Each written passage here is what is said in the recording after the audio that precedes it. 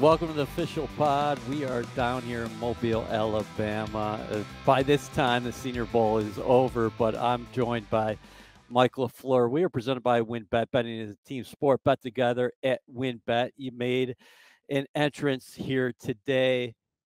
How different is your role now as the offensive coordinator as of the New York Jets compared to the last time you were here working for Kyle Shanahan and San Francisco yeah, 49ers. much different, you know, and it's but it's uh it's coming full circle a little bit, you know. I mean, when we came down here, it was it was a really good experience. Obviously, the first two years in San Francisco, um, I was the receiver coach and pass game coordinator, and did a lot of stuff still with the quarterbacks because Kyle was floating around as a head coach.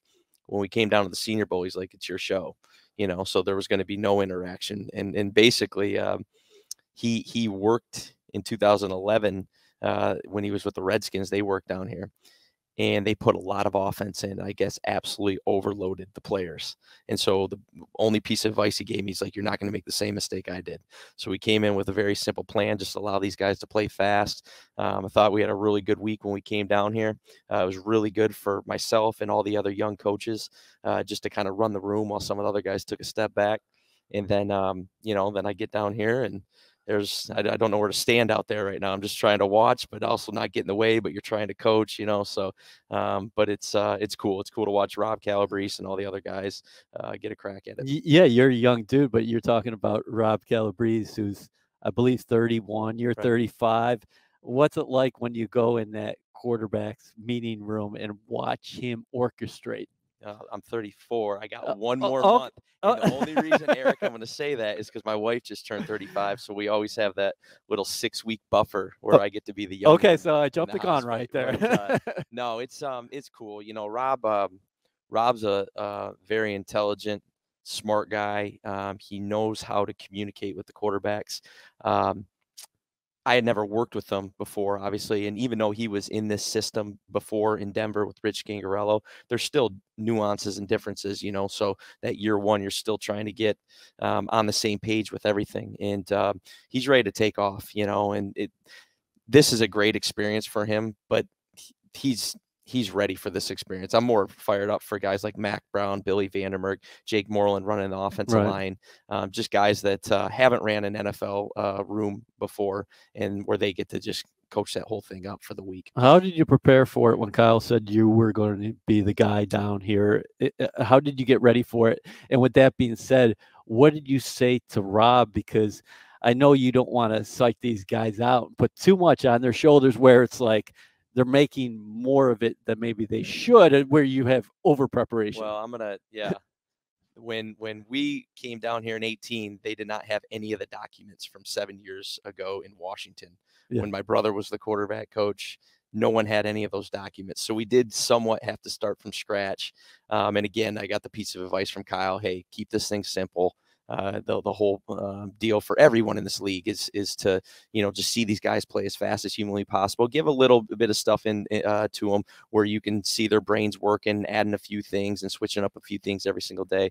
Um, when we found out we were coming here, they already had they already had the test because I I had all the files. Yeah, right. So I'm like, hey, we just basically got to switch this over to our terminology yeah. now, which was basically the same terminology. So they got a lot of uh, a lot of the, the the hard work out of the way. They just had to make the cut ups and, and get these guys prepared, rescript it on out, get it out to the guys. And now these guys are so prepared. The players are so prepared with all the different trainers and, and stuff that they're working with. They get the information even faster than they did three three uh, years ago. I mean, they're asking for the information two weeks in advance, and that's good and all. You'd almost get bored because there's not enough offense to like you know you, will learn it in two days if you're going to study it. You know what I'm saying? It's not our whole playbook by any means. It's five percent and it's dummied down. So so so five percent you said uh, probably yeah five ten percent. But I mean, there's so many rules with this. I mean, you can't get in three by one formations. It's uh you know you're you're you're stuck in two by two um, stuff like that. So you can't motion. So I mean, there's you're you're so limited in what you can do anyways. You know, so that's why I like to you give them the playbook, but then you keep a couple things on the side so that it doesn't get old and stale. And then you also want to see how fast guys can learn, you know, because that's part of, you know, the, the unique advantage that we get is we get to be in the meetings with them. Everyone gets to watch them out there, but we get a little bit closer and we get the meetings. And so you you get to kind of see how they process information. What are the challenges with the terminology in such a short amount of time? Um, just that it's new, you Yeah. know. Um, a lot of these guys, and this isn't new this year or last year. I mean, this is college football, what seems like over the last 10, 15 years, they're not even in huddles anymore. So it's sometimes it's, if they didn't do it in high school and they didn't do it in college, they've never been in a huddle here and not only a play call for the first time, but a play call that might have 10, 11 words in it, you know, and it's telling everyone where to line up, what kind of split to take, what's going on in the protection. If I'm a receiver, I don't need to worry about the protection until I have to, because there might be one word where I'm, I'm a part of that protection. Uh, so it's just being able to process that information, being able to uh, kind of split those play calls up in your head. Everyone's going to hear it a little bit different, but you try to give them uh, a couple uh, coaching points to, to how to hear it. And then, um, you know, it's one thing to be in the meeting, get it uh, coached to you, but it's another thing in real time because you want to be able to break the huddle and not look back like, what do I got? Right. You know, because again, we're we're all out there, and if you're doing that too often, then there's something that's uh, maybe a little bit off on how you're hearing it, and we'll get you coached up. But uh, you know, so it's a challenge for them because it's a lot of a lot of it's new for these guys. Can you talk about the advantages for the staff to not only get these guys on the field, but get them behind closed doors, watch them absorb the concepts, look at the film, talk about, um, you know, it ba- basically recite what you guys are telling them. Yeah, no, it's you get a you get a um, you know up close view of these guys and and how they're uh, digesting the information uh, that you give them, and not only digesting it and be able to uh, recite it back to you, but then uh, after practice come back and you know you're coaching them up see if you know you can ask them a question hey what do you think you could do better here? And it might be something you've never even coached but hey I, as a receiver i could have you know attacked an edge a little bit more and got a little bit more of a restem or i was a little bit short of my route or whatever, whatever have you. So it's stuff that even at the combine you don't you don't get. I mean this is this is real football and that's why um, you know just having the one experience with the senior bowl it's in my uh, opinion, way more beneficial than the combine because you get the, the the full interaction, you get the practice, and then you know uh, culmination with the game. WynnBET is now live in New Jersey, and they're bringing the excitement of Wynn Las Vegas to online sports betting. Get in on all your favorite teams, players, and sports, from boosted parlays to live in-game odds on every major sport. They have what you need to win. Sign up today to receive a special offer, risk-free $500 sports bet. Download the WynnBET app now or visit wynnbet.com to start winning. WynnBET, an official sportsbook and gaming partner of the New York Jets. Offer subject to change. Terms and conditions at wynnbet.com. Must be 21 or older and present in New Jersey. If you or someone you know has a gambling problem, call 1-800-270-7117. Uh, Can we go back to your playing days? Uh, uh, talk about yourself as a quarterback, and you played safety too, I right? played safety. Uh, my senior year, I got moved to safety. Actually, our assistant line coach, Jake Moreland, Yeah. His uh, best friend is Tim Lester, who's now the head coach at Western Michigan. He uh, he came in my, my senior year, and we were going to run more of a pro style offense at Elmhurst College. So, being a five eight dude that uh, wasn't going to be able to see very well, uh, and we had a very good quarterback, who's one of my best friends, uh, you know, in front of me. So um, he started at quarterback, and I moved over to safety my senior year, and started at free safety all year. So it was. It was I'd never played defense before. I was always a quarterback all through high school. I, we didn't we didn't go two ways, so I was always a quarterback. So What was your weight? What's that? What were you weighing in at? I was well in high school or in college. Well, you played you played safety. It, Only in college. Yeah, right. I got up to 187 my senior year. Okay. At 5'8. That was like carrying a ton of bricks on your feet. Yeah. It was it was one of the dumbest moves I made because I thought, you know, hey, I'm, it's my first year playing defense. I got to be able to I got to be able to have some sturdiness and hit some right. Yeah. Yeah. so I gained a bunch of weight and now I couldn't run like I could as a quarterback, you know. So I always look back at that like that was so dumb. Like, But how you know- much did your quarterback background help you oh, was, when you go back there? it's the reason I started because, like I said, I mean, I wasn't, I'd never played defense. I, you know, being a quarterback, you're going to know kind of everything that's going on. So that was the easy transition. It was, hey, at the moment of truth, am I going to go stick my face in there? And I, I felt like I would, but the problem was I wasn't getting from point A to point B fast enough because I was in probably 12 pounds overweight because I thought I had to get nice and big Right, for, yeah, yeah. for playing defense. So anyway, I played played defense that senior year, but uh, before that, I was a quarterback for three years. Started one year, and uh, it was a good experience. We went to it was a D three school in Chicago. I'm from small town Michigan, so that was a whole just the school experience being you know in the suburbs of Chicago was different. Um, it was cool. It was really cool. Where did the coaching bug come from? Because uh, you're your older brother now. Matt is what seven years older than Yeah, you, right? he's a little over seven years. Yeah. Where'd it come from? So it goes. I mean, it goes pretty far back uh, to my grandpa, my mom's dad. Uh, he was a high school head coach in Michigan for for 25 plus years. Um, he played at Western Michigan, um, so he started it. My mom loved football because that's what she knew growing up. She was a cheerleader. She goes to Central Michigan, meets my dad, who's a player there. He was a he was a linebacker there, um, and then D line his senior year. He gets into coaching. He coaches at Central Michigan for 23 years and then you know my brother gets into it and right i'm the one that tried to get away from it. For, Did you really? Yeah, when I was at Elmhurst, because it was a it was a Division three school. There's no scholarships, so you had to you know I had, I had to pay some money to go to, to school there. My mom's like, "What if you're going to school in Chicago?" And my brother tried talking me into it. If you're going to go to school in Chicago, you might as well go into economics, go go go into finance, something like that, and work down in the city, make some money. I said, "You know what? You're right." And I took about one week of classes in that, and I'm like, I called my mom. She's like, "I was just waiting for your call." And I got out and went into into education and got my degree there, and and uh, yeah, just got into coaching and kind of worked my way up. What about the gap between you and Matt? The seven years. Yep.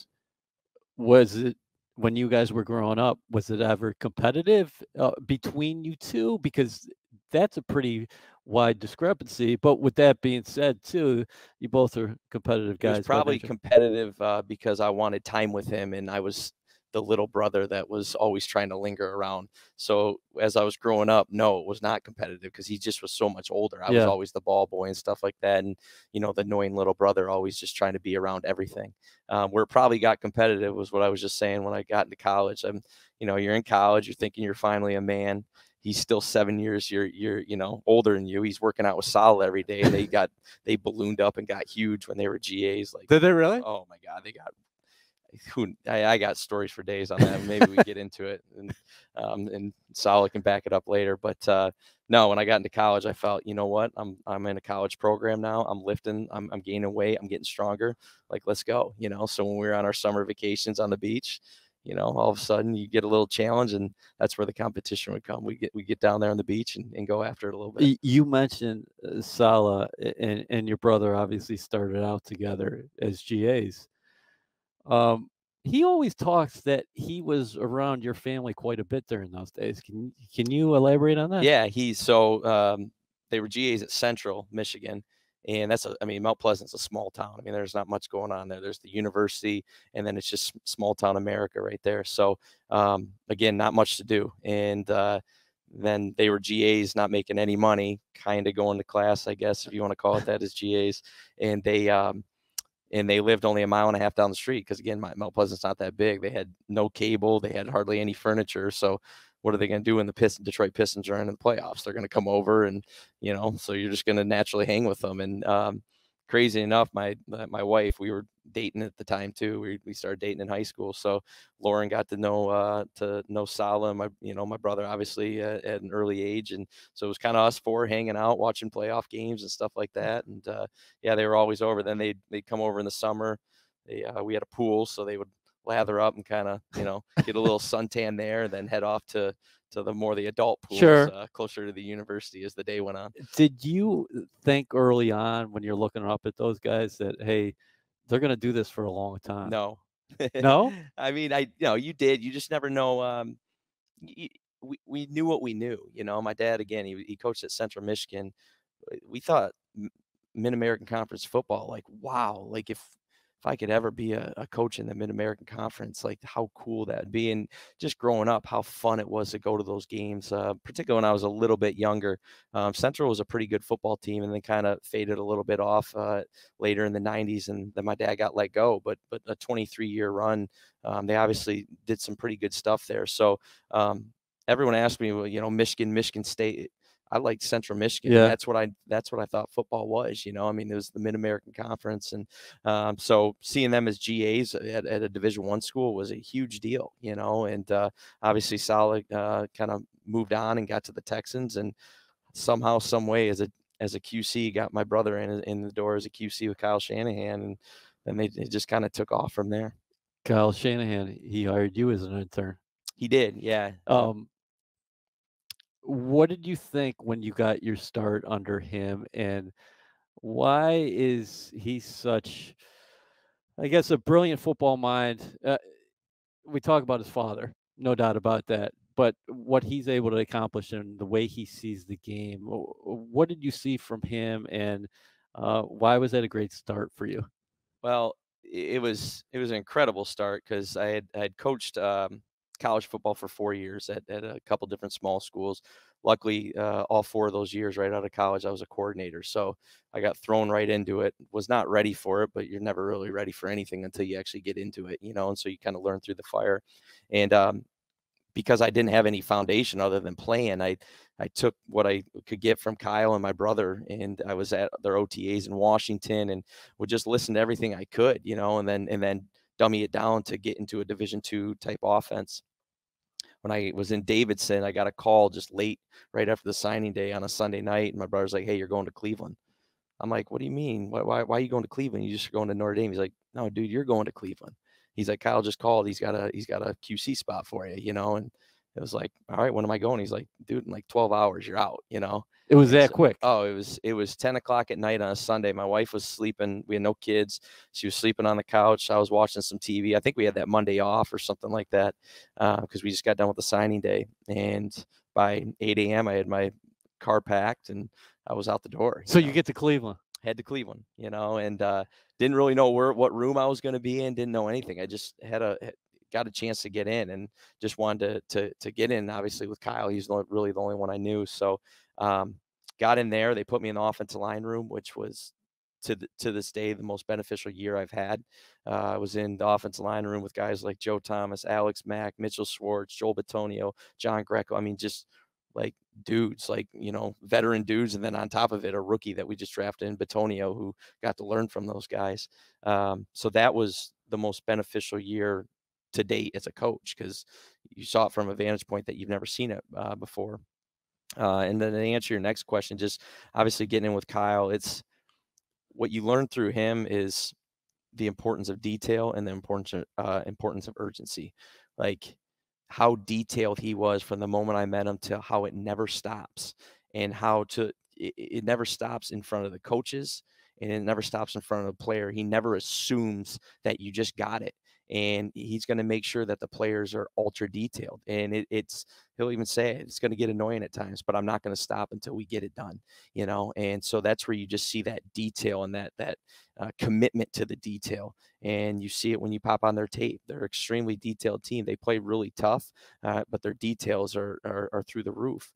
And then on top of it, um, is just the urgency uh, of this league that he teaches you. Like you don't you don't have time you got to get better now. It doesn't mean you got to win a Super Bowl in year one. Doesn't mean you got to win a Super Bowl in year. It means you got to get better every single day, and it's got to show. And if you don't, then the next crew's coming on in. Right. You know? So the detail and urgency uh, are the two things when you don't when you're not talking anything X's and O's um, are the two things that stick out so well with him. Would you consider that uh, he was demanding of his staff because you're talking about detail and oh, expectations? Totally. Yeah, totally. You know, and it's you know you if you're going to hold players accountable, you got to hold obviously uh, the coach is accountable too you got to hold yourself accountable first and foremost, you know, and uh, that's something I, you know, I try to do all the time with the players. I, you know, one of the first things I, I like to do is show them where I made mistakes in a game or in a practice or within the plan, you know, because you want to show that accountability. And the same thing though, we're going to hold, I'm going to hold myself accountable.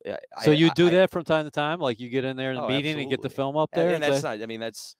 I've seen my brother do it multiple times. Yeah. I've seen Kyle do it multiple. I mean, that's just I think that's that should be a standard amongst us. We're it's it doesn't matter who's right; it matters what's right, you know. And and like this league is it's it's just us. We got to get this right, fellas. There's no agendas. It's not like college football. It's not like I recruit you.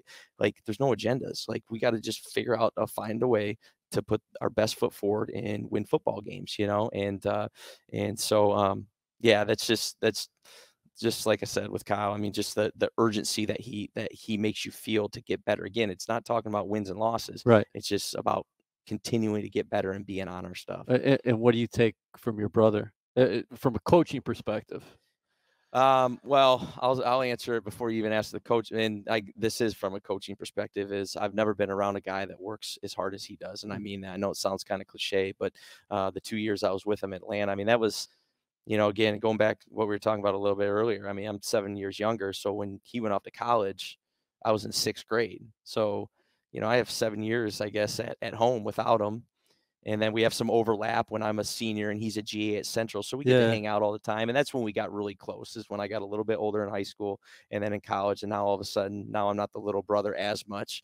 Now we're getting uh, now we're getting closer. But I had never really been with him on a day to day basis, particularly in a work environment.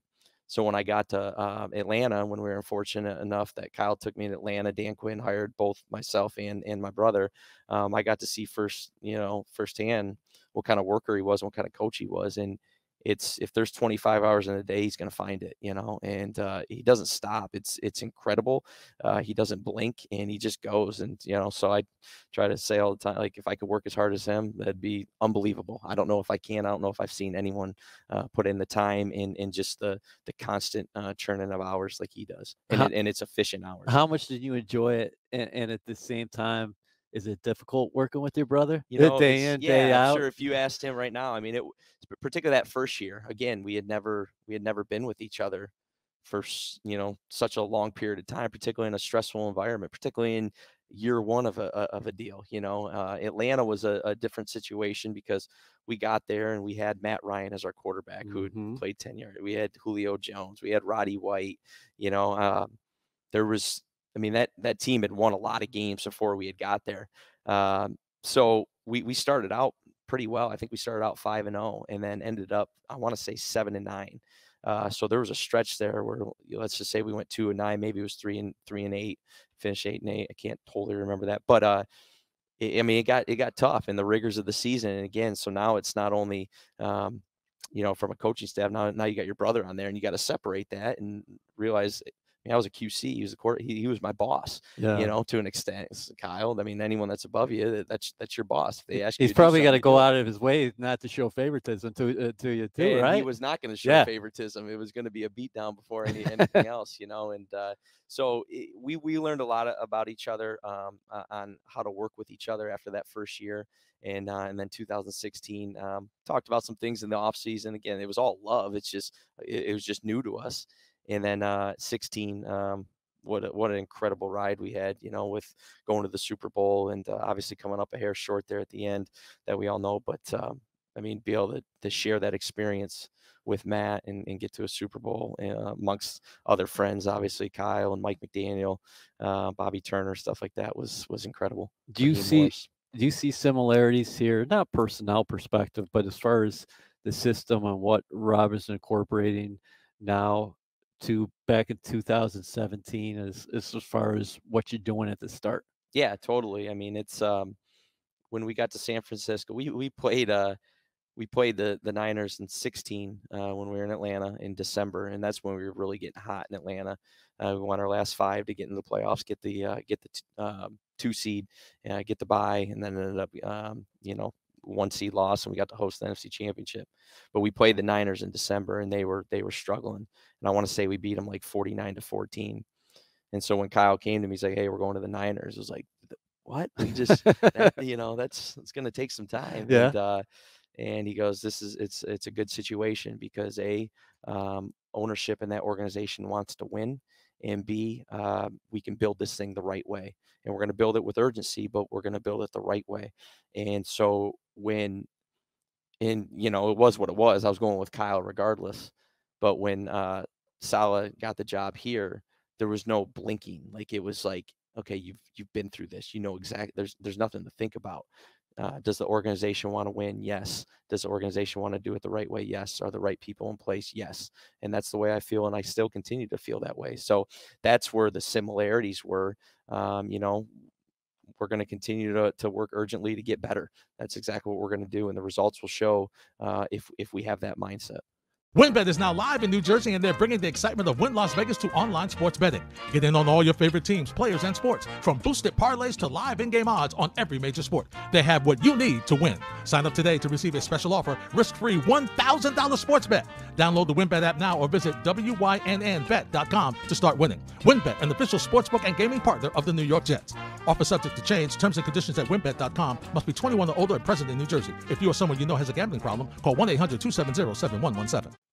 John Benton, how important was his his travel here in, in addition, and then also, uh, you know, I wanted to ask you about Greg Knapp I, I know how much personally he meant to everybody, and uh, and just you can talk about him as a football coach, but also what he brought to the table because I know he was going to be such a valuable piece of everything you guys did here. Um, I'll answer your first question first uh, before I get uh, emotional with Napper. But uh, no, um, John Benton was big. Uh, having the four years working with him, um, we we we had a good friendship too. We had a good bond with that. Uh, so it wasn't just a, a respect from a, a, work standpoint.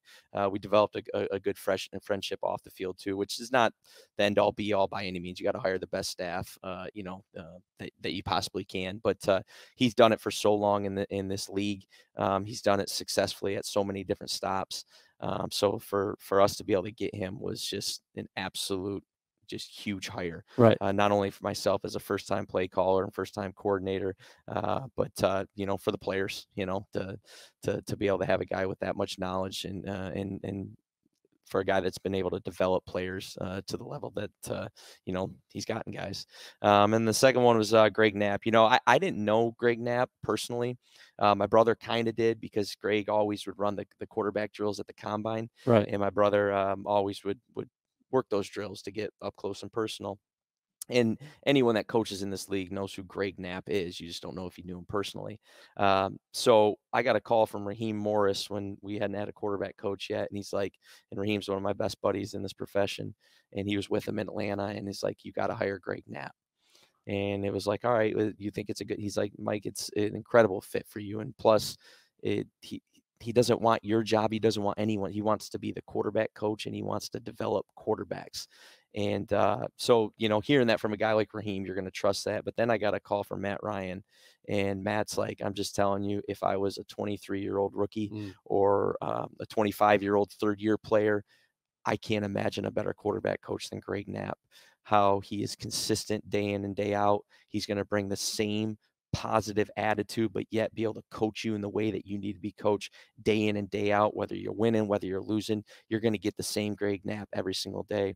And so when you get just back to back calls from Raheem, uh, from from Matt Ryan, um, and then obviously again knowing that my brother knew him as a person and stuff, it, it just was it was a no brainer. You know, the took me about five seconds to be like, Sal, I, I really would like this one to go down. And Saleh and, and, and the organization got that done pretty quickly. And then, um, then it was just about getting to know them and teaching them kind of how our offense has evolved in San Francisco and and uh, you know how we're teaching the quarterback play. Not that it's too different from what he was doing with Matt Ryan in the West Coast system, but but there were some differences and nuances. Um, so that was a fun process, but the more fun, the the the better part of it was getting to know him as a person. I mean, he's such a positive guy, right? Everybody who, who was around him for even a minute says he would remember your name. He, he, he, you meet him once, he remember your name. He'd always have a smile on his face. He'd ask you how you're doing, and um, you know, it, it, you know, you, you lose somebody, but uh, his presence was just a monstrous presence. It, it was you. You couldn't have a bad day if you were going to spend some time with Greg Knapp. Yeah. It was um, everything you just said. Not only did he know your name, probably knew your uh, kids' names too. Yeah. And it's the truth. And uh, getting to know um, Greg in that time, and, and that year one is always a special time too, because what stinks is you're away from your families as they're moving from wherever they have to move. And, you know, you're buying a house and it's going through all those processes and all that. So, yes, that stinks not being able to be with your family for the two, three months that they're not there. But because of that, you get to spend a little bit more time outside of the building, getting some dinners with some of your staff, getting to know them on a personal level. And um, I spent probably more time with Greg Knapp than anyone else on our staff. It, we just, if it wasn't football, we enjoyed going out, getting some good food, yeah. having a, gla- a glass of wine or two, and then waking up and having some good coffee. Like that was the best life that he could have right there. It's just a good dinner, good coffee, and then right back to work, you know. And uh, we we spent a lot of time uh, together here uh, or in, in Chatham, and then we actually spent some time out in Napa. We had a, a, long weekend, and I wanted to go back and see my family. He was going back to see his uh, lovely wife Charlotte, and so we were up in Napa, and him and Charlotte came up, and we spent a day up in Napa after only knowing him for two months, you know, and yeah. had an absolute unbelievable time there, and um, there was a there was such a, a calmness and at peace when you were with him, and you could see it in his eyes at how how much he enjoyed just life, you know. And uh, he taught us a lot about football. He taught us a lot about life. I could go on for hours talking about Greg Knapp. Yeah, no, he is, uh, and and anyone that knew him, anyone that saw uh, his celebration of life.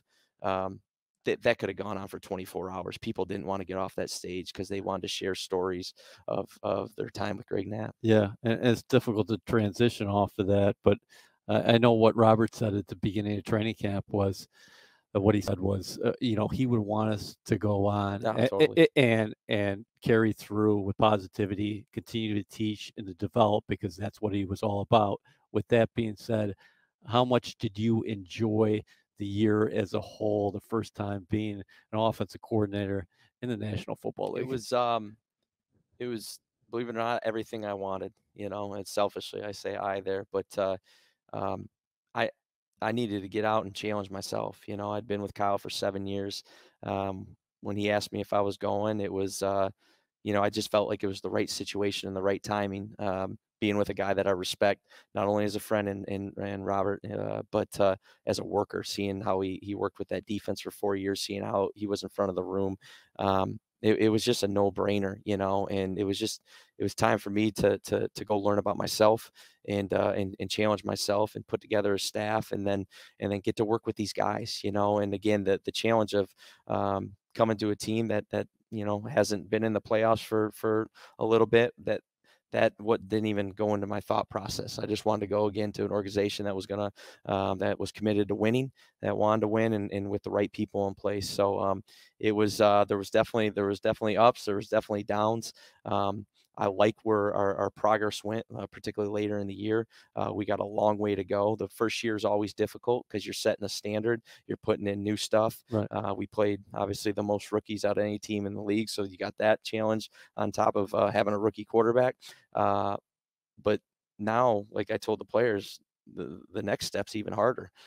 we got to go get we got to get better and we got to get better with urgency. You know, it's not pressing, it's just urgency. So um, it was it was awesome. Uh, we've loved living in this area. Um, it is an awesome place to raise a family, and I'm not just saying this, but this fan base is they're cool, man. yeah, It is a cool fan base. They just they're thirsty. And, They are and you can- thirsty. and you can feel it, you know. And uh, you want to do it for them. And there's a there, there's nothing like going out that locker room on a Sunday. And you know, obviously, I was up in the booth uh, for that back half of the year, but just feeling that energy and going into NFL stadiums, and some feel different than others. You know, uh, San Francisco's felt different than New York's.